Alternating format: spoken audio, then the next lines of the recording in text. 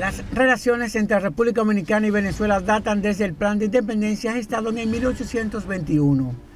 Desde entonces, los pueblos dominicano y venezolano han soñado por los aires de libertad y de progreso. Esos nexos se fortalecieron durante el exilio vivido por el patricio Juan Pablo Duarte, que en 1843 pidió ayuda al gobierno de entonces de Venezuela para materializar su sueño de la independencia, que fue concretado el 27 de febrero de 1844. Duarte vivió con su familia en Caracas, la capital de Venezuela, hasta su fallecimiento el 15 de julio de 1876. Sus restos fueron trasladados al suelo dominicano en 1884 por el gobierno de Ulises Heró, quien lo declaró padre de la patria junto a Sánchez y Mella. Durante el siglo XX se produjo un éxodo masivo de dominicanos a Venezuela, principalmente en los años 70 y 80, por la bonanza petrolera en el país. Como contraste, el flujo migratorio es ahora la inversa desde el año 2013.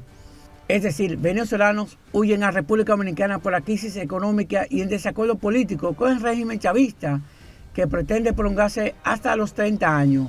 Se estima que en el país hay 121 mil venezolanos y otros 11.900 dominicanos en Venezuela. Las relaciones entre República Dominicana y Venezuela han tenido cinco fricciones. El primer rompimiento se produjo en el 1945 pero hubo un nexo permanente a partir de 1949 con las relaciones diplomáticas. Pero hubo tensiones en el año 1960 cuando el dictador dominicano Rafael Leonidas Trujillo dio su apoyo a un fallido atentado contra el presidente venezolano Rómulo Betancourt. El acercamiento entre República Dominicana y Venezuela se produjo en el 1962, pero se levantaron en 1963 por el golpe de Estado en República Dominicana contra el profesor Juan Bosch. Todo vivió a la normalidad a partir de 1965. Hubo estabilidad en las relaciones venezolanas y dominicanas hasta 1990, lo que incentivó a muchos dominicanos a emigrar al país sudamericano.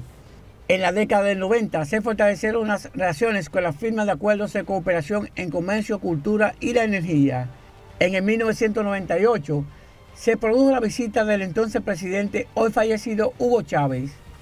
Seis años después, en el 2005, Chávez puso en marcha Petrocaribe, que fue una alianza en materia petrolera de Venezuela con algunos países del Caribe, incluida República Dominicana, que permitía precios preferenciales en momentos en asas y incómodas condiciones de pago. Todo marchó bien hasta el año 2018, cuando el entonces presidente Danilo Medina no reconoció el triunfo de Nicolás Maduro en los comicios de ese año y hubo un retiro de los embajadores de ambos países, aunque se tenía abiertas las sedes diplomáticas.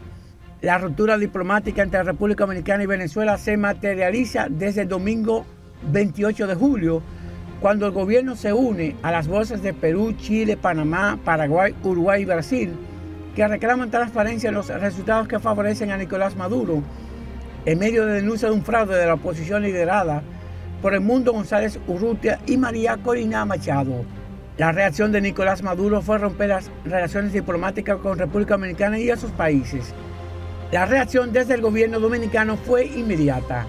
No tenemos embajador en Venezuela, pero el personal, bueno, pues acatamos esa decisión y nos mantendremos, eh, eh, como esta es una situación cambiante cada día, pues nos mantendremos viendo lo que vamos a hacer. Lo que sí nosotros no vamos nunca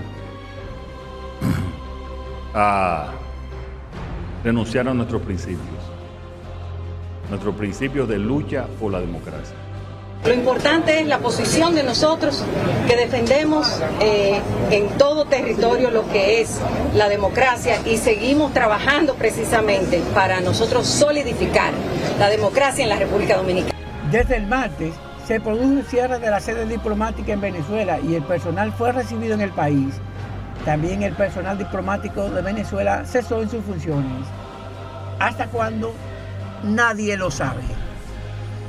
Para proceso Franklin Puello.